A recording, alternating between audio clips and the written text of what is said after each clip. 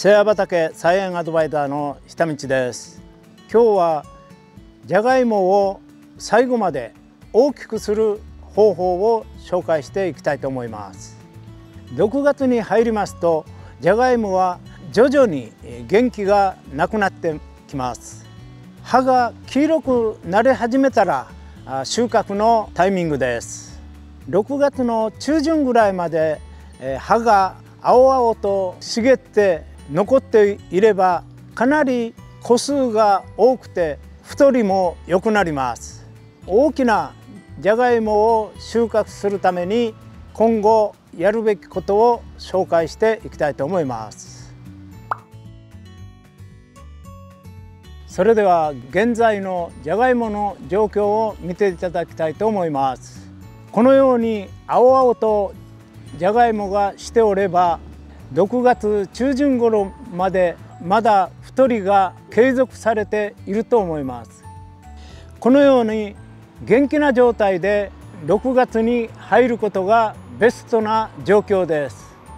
型やこのように弱ってきてしまうじゃがいももあります。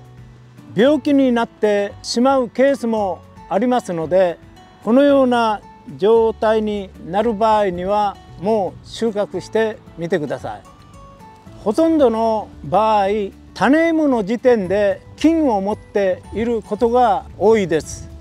ということで病気にかかってしまうことがどうしてもしょうがない部分があります。もし葉がまだ元気な状態である場合は残り期間できることをやっていきましょう。それでは6月以降実施するじゃがいもをさらに太らせる方法について紹介します。先ほど紹介しましたように葉がまだ青々と茂ってる方はやってみてください。一つ目は高温対策です。じゃがいもは30度以上になりますと非常に育ちがよくありません。この高温をいかにして対策するかということでありますけどもまず1点はマルチを剥がす作業です。マルチを張ってる場合反射でも高温になってしまうことがありますので株元が非常に熱くなってると思います。6月に入りますとかなりの高温が予想されますのでマルチを剥がす作業をやってみてください。それではこちらのじゃがいものマルチを剥がしていきたいと思います。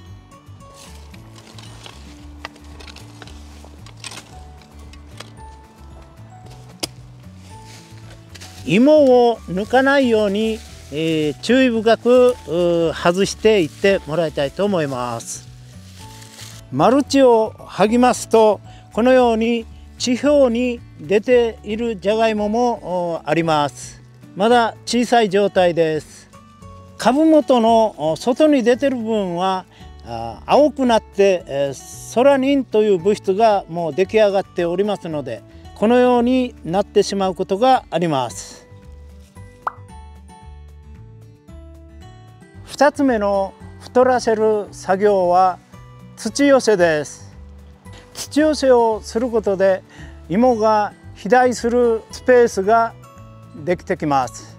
また先ほどのように飛び出した芋にソラニンが出てしまうことがありますので土寄せは大事な作業です。土寄せをすることによってまず土の中の温度を安定させることができます。または雑草の対策にもなる。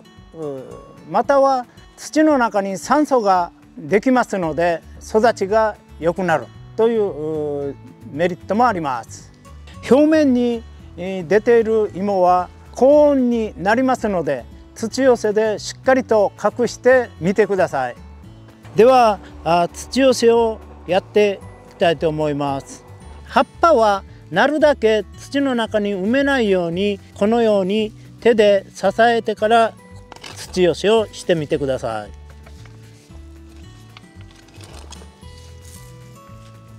しっかりと芋が土で隠れるようにして土寄せをやってみてください。残りの期間のこの作業が重要です。最後3つ目です。アブラムシ対策です。じゃがいもに発生するモザイク病はアブラムシが拡散することがあります。アブラムシを撃退することで感染予防につながります。感染予防をすることで太るじゃがいもを収穫することができます。6月の最後までアブラムシには要注意です。こちらを見てください。先日モザイク病が発生したじゃがいもです。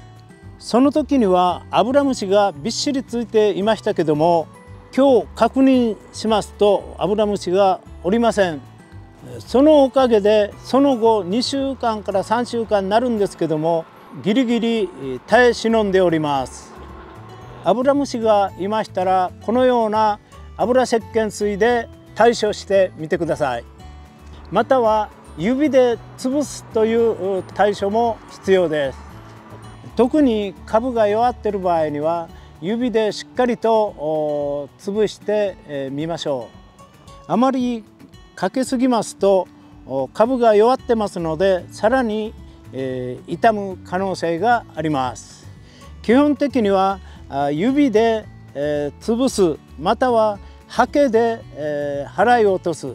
ということをやっていただき最悪どうしても対処できない場合は油石鹸水を散布してみてください。今日は6月最後まで芋を太らせる大切なことを紹介していきました。シェア畑菜園アドバイザーの下道でした。チャンネル登録といいねボタン押してください。バイバーイ。